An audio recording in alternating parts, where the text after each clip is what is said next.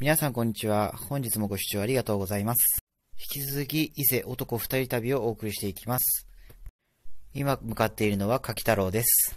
伊勢鳥羽二見ラインを使って、えー、鳥羽のパールロードに向かっていきます。運転は引き続き犬さんです。よろしくお願いします。伊勢鳥羽二見ラインは2017年3月11日に無料化されました。この道路ができてからね、もう鳥羽まですごい楽に行けるんですよ。この道路が無料化されるまでは山道をぐねぐねぐねぐね走ってました。はい、柿太郎に到着です。オープン15分前に着いたんですが、お客様は3組待っていました。犬さん、こんにちは。ナイススマイル。それでは店舗に入っていきましょう。インさんは店員さんと何かお話ししています。次に焼き場を見ていきましょう。こんな感じです。炭で焼いているんですかね。オーダー用紙です。これで順番に焼いていってもらいます。屋外にも席があります。ただちょっと暑かったですね。クーラーも効いていませんでしたし、中はクーラー効いていました。アルコールは中で買えますが、ソフトドリンクは自販機で買えます。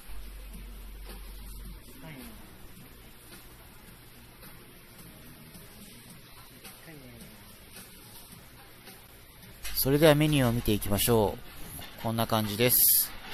結構安い方だと思うんですが、皆様はどうお考えでしょうか？岩牡蠣がやってきました。左が800円のもの、右が500円のものです。比較として犬さんの手があります。よくわかりません。続いて、お作りが来ました。まずサザエを見ていきましょう。こんな感じですね。コリコリとした食感が特徴的でした。続いてホラ貝です。こちらはさらにね、コリコリしててね、美味しかったです。二つともわさび醤油でいただきました。美味しかったです。ありがとう。続いて、焼き牡蠣とごま油焼きがやってきました。ごま油の匂いがね、良かったです。焼き牡蠣もね、もちろん美味しかったです。調味料もね、結構ね、ポン酢、醤油、ソースとかもね、いろいろありました。柿太郎を出発しまして、次はパールロードの頂上にあるであろう鳥羽天望台へ向かいます。柿太郎の情報なんですが、実はこれ、犬さんが情報を持っていたんですが、現在の旬は実は岩牡蠣らしいんですよね。てっきり私、行く前は浦村の牡蠣とか又屋牡蠣が食べられると思ってたら、もうお店が全部閉まってましたね。岩牡蠣は初めて食べたんですが、普通の牡蠣に比べて身はしっかりしてるし、大きさは大きいし、もうプリプリで全然違うような食べ物でしたね。皆さんも近くに来られた時、えー、柿太郎いかがでしょうか？ちょっと公共交通機関では来づらいところであるんですが、ドライブがてらレンタカーなどを借りてくるのはいかがでしょうか？パールロード沿いにある柿太郎、おすすめです。そうこうしているうちにパールロードの駐車場に間もなく到着します。この時点でもうね、景色がいいんですけどね。一体展望台に行ったらどんな景色が見られるんでしょうか？楽しみです。はい。では、走行しているうちに、展望台の頂上、駐車場に着きました。駐車場大きいですね。もう左側も駐車場ですね。おこんな満タンになることあるんですかね。右側にはヘリポートがありますね。緊急事態の時には、ここにヘリが止まるんですかね。はい。では、駐車場グイーッと行きます。あ、まあ、結構止まってますね。まだ10時、11時ぐらいだったと思うんですけどね。はい、止まっていきましょう。えーっと、おー、ここでも、全身駐車ですね。うまいですね。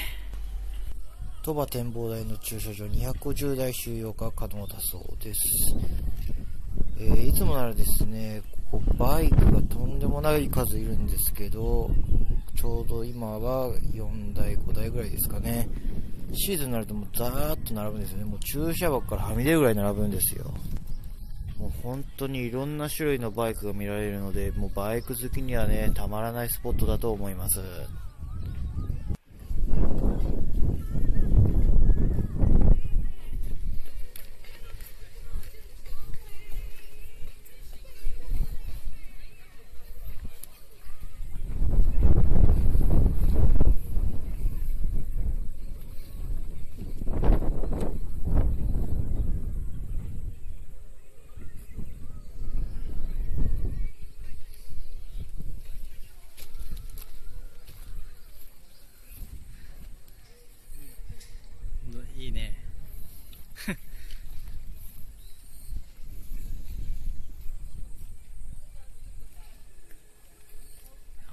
Yeah.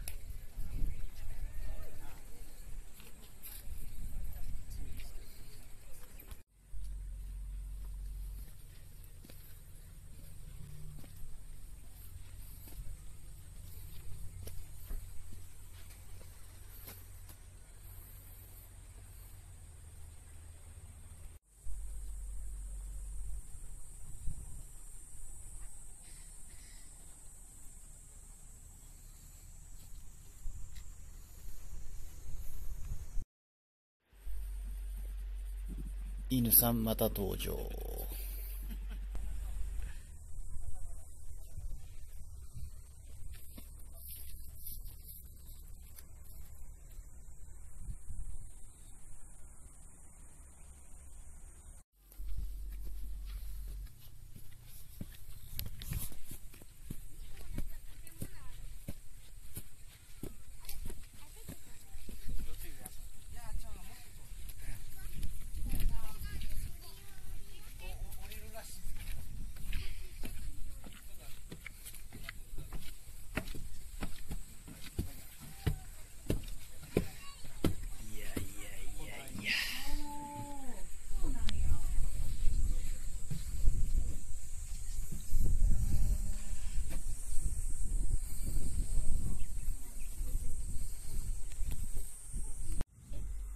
はい、鳥羽展望台の景色いかがだったでしょうか？とても雄大でね、もう自然豊かで綺麗でしたね。もう海も澄んでますしね。